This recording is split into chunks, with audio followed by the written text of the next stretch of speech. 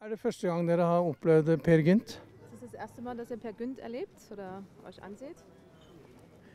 Ja, in dieser Veranstaltung hier schon das erste Mal. Aber ansonsten von Musik und Theater her ist uns Per Gün vertraut. Hvordan, hvordan var det? Ah, es war wundervoll. Es war wundervoll.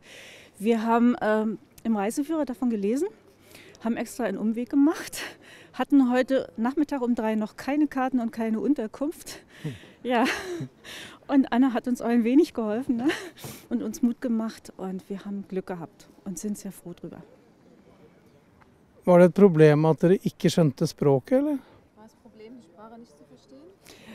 Ähm, ich habe überhaupt gar keine Beziehung zum Norwegischen. Bin das erste Mal hier im Land und habe die Sprache genossen. Es ist eine sehr melodische Sprache, also es war wie Musik. Und dadurch, dass ich die Sprache nicht verstanden habe, oder wir beide nicht, aber ich konnte mich dann eigentlich sehr schön auf die Sprachmelodie konzentrieren. Und das war, das war eigentlich sehr, sehr schön. Ne? Hvordan var det å oppleve det ute i naturen? Wie war es, das draußen in der Natur zu erleben, als Freilufttheater? Ja, das passt alles ganz wunderbar zusammen. Der See, die Umgebung, ja, das ist auch natürlich auch die Möglichkeiten, die sich dadurch ergeben.